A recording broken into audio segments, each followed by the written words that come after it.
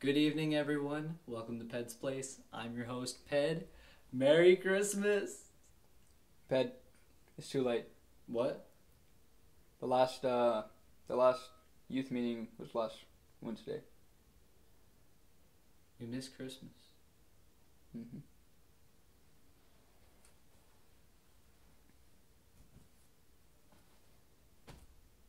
Happy New Year's! Though not really, because I don't like New Year's. I'm going to tell you why I don't like New Year's.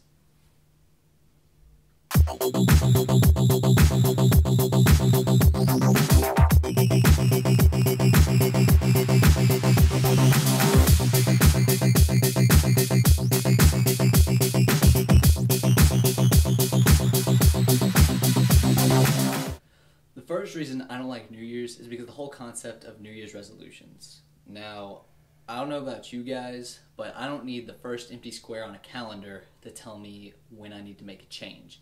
I look to God to tell me when I need to make a change. Can I get an amen? Amen. Turn up. Now, the second reason I'm not the biggest fan of New Year's is okay, if you've ever been in school past January 1st, you can totally relate to this. Alright, back to school, whatever, chilling, cruising.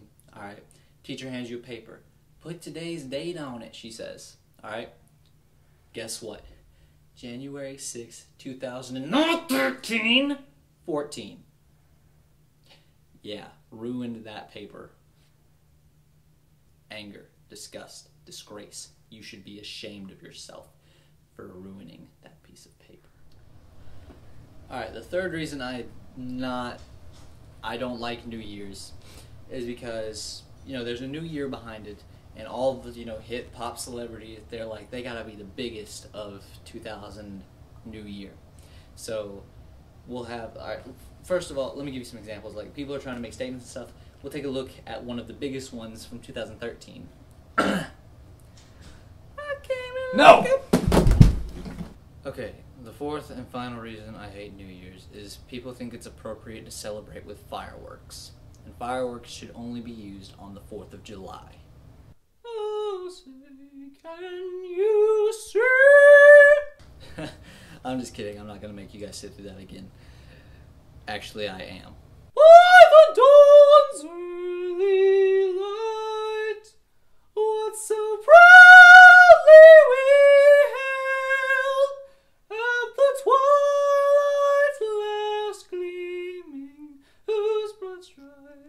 And stars